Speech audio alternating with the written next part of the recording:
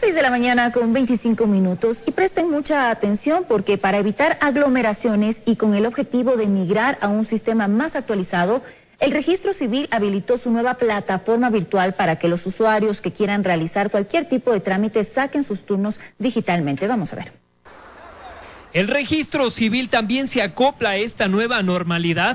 La entidad informó que de ahora en adelante todos los ciudadanos que necesiten realizar un trámite deben primero sacar un turno vía online.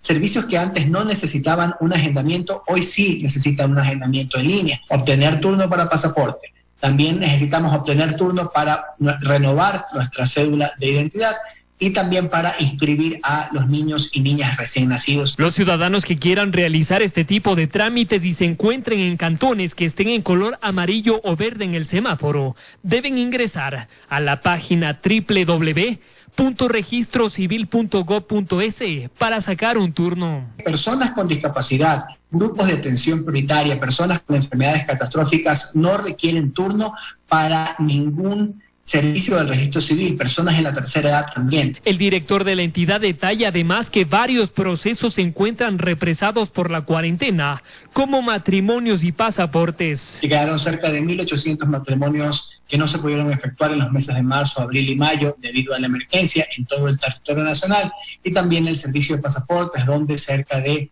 21.000 personas pudieron obtener este servicio. No obstante, desde el primero de junio la entidad ha ido evacuando los trámites pendientes como los matrimonios, pero ahora con nuevas medidas de seguridad. Mencionar que únicamente está permitido el ingreso a nuestras agencias de los dos contrayentes y de los dos testigos. Y advierte a la ciudadanía que no se deje engañar, que el agendamiento de turnos es totalmente gratis.